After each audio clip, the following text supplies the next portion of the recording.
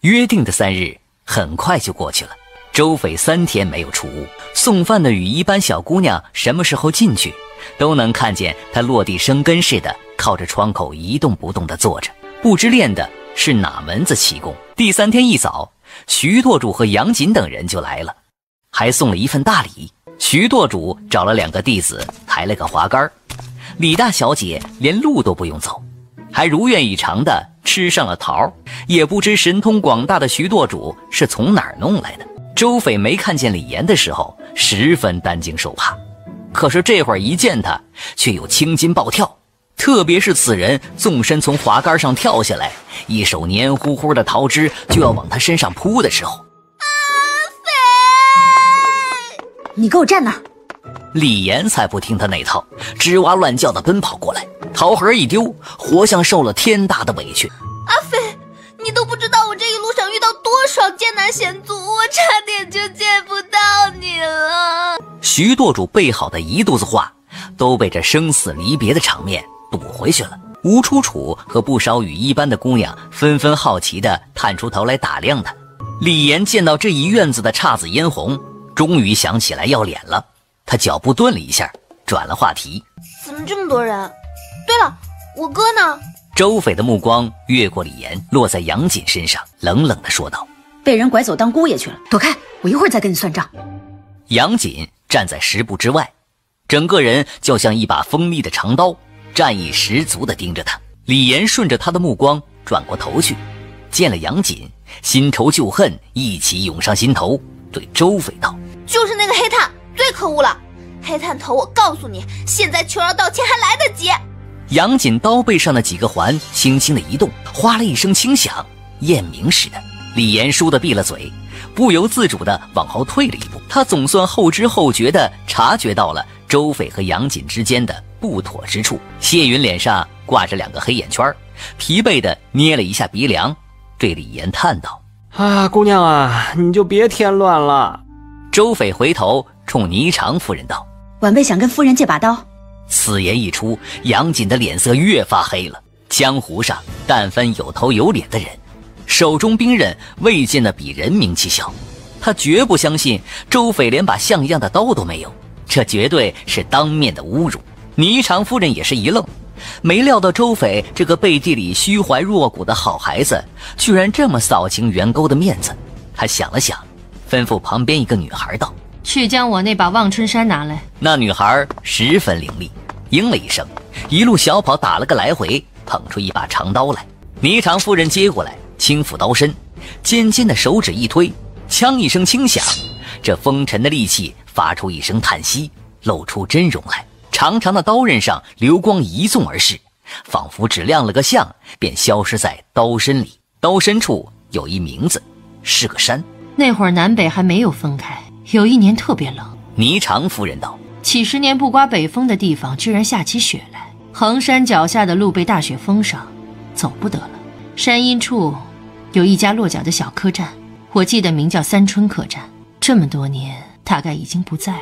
我李征。”还有几个朋友，一起被困在了那里，运气实在不算好。谁知在那家倒霉的客栈里，偶遇了传说中的山川剑。殷大侠和李大哥一见如故，在三春客栈里喝了三天的酒。等大雪初晴，便一道约在了衡山的一处空地，酣畅淋漓地比试了一场。结果刀剑齐断，他们两人大笑，好像遇上了什么高兴的事。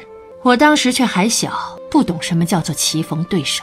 只觉得可惜，放下大话，说要替他们寻最好的材料，再打一副神兵利剑出来。霓裳夫人浓密纤长的眼睫毛微微闪了一下，抿嘴一笑，道：“后来我果然找到人，打了一刀一剑，刀名为山，剑名为雪。只可惜这一对刀剑一直没有找到机会送出去。乱世变质，谁也顾不上谁了。”他说完，将这把望春山递到周斐面前。口中道：“你来了也好，用完带走吧，不必还来，就当是我见了故人约。”周斐道声谢，接过来的时候，却觉得霓裳夫人的手指紧了紧，仿佛不舍得给出去似的。然而片刻后，他终于还是留恋的松了手，神色有些萧条，女妖一般，好似颜色永驻的脸上，陡然染上了些许风霜之色。谢允在旁边低声道：“阿飞。”周斐瞥了他一眼，看见他隐隐的阻拦之色，便飞快地移开视线，上前两步走到杨锦面前，倒提长刀，对他做了个请的手势。谢允无声地叹了口气，想起那天晚上的话，躲过了这一场，然后我继续顶着南刀的名头招摇撞骗，等着张锦、王锦、赵锦挨个找我比试吗？周斐摇摇头，没这个道理。就算我偷机取巧也赢不了。那也是堂堂正正的技不如人，比藏头露尾强。杨锦大喝一声，率先出手。他这是将自己放在了挑战者的位置上，态度可谓十分谨慎。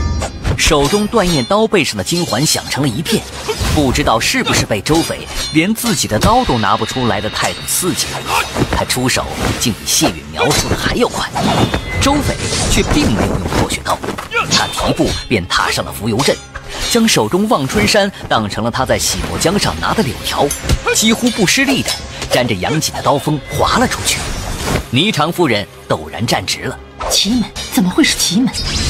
仅仅是一瞬间，霓裳夫人就意识到了自己的失态，她本能的想去看谢允一眼。不过霓裳夫人毕竟是个老江湖，飞快的权衡过后，她生生将自己僵硬的脖子凝固在了原地。憋回了自己一切不自然的表情，心里却不免有些七上八下。不知道这个来历成谜的千岁幽，是不是从他方才一声脱口而出的惊呼里听出了什么？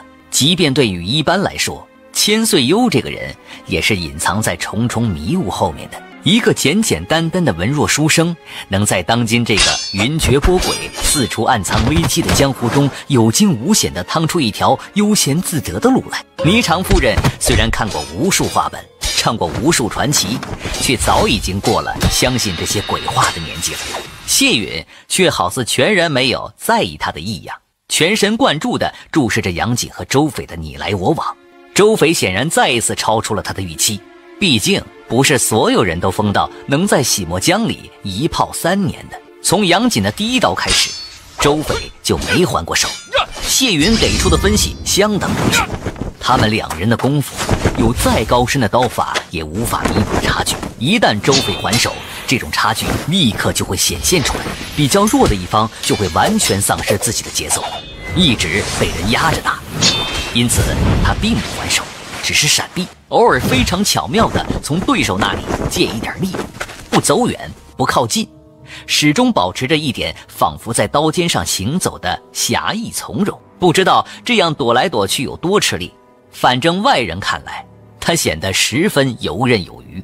杨锦不是郑罗生花掌柜那种内家高手，在他不可能一掌掀翻周斐的情况下，他的刀再快，快不过洗魔江的细刃，力气再大。大不过能牵动千斤巨石的千机，更何况周斐现在还有越来越得心应手的浮游阵助阵。要不是谢允不是第一天认识周斐，几乎也要怀疑起这姑娘是不是真的深藏不露。乍一看，眼下这种情况根本不是周斐无计可施，倒像是他比杨锦高明了不知多少，只为了看一看所谓断雁十三刀的深浅而刻意拖延而已。可是。旁人或许还在惊叹着女孩身法从容，谢允作为众人里唯一知道轻重深浅的一个，心不由自主地提了起来。穿花绕树的蝴蝶都得落在花间，周斐又不是陀螺，他不可能永远不知疲倦地团团转下去啊！除非……谢允的目光渐渐落到杨锦身上，除非他自己露出破绽。不错，杨锦性情暴躁冲动，又是个武痴，从某个方面来看，他跟纪云尘有点像。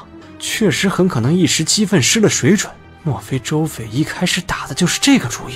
哎呀，那这小丫头下山一趟，可真没少长心眼儿啊！不过在谢允看来，即使杨锦被他溜得怒发冲冠，真的自己露出破绽，周斐能抓住机会一举制敌的可能性也不是很大。他相信他那双遍阅江湖名宿的眼睛能一眼洞穿对手的弱点。可他的身手不见得能跟得上这份眼力。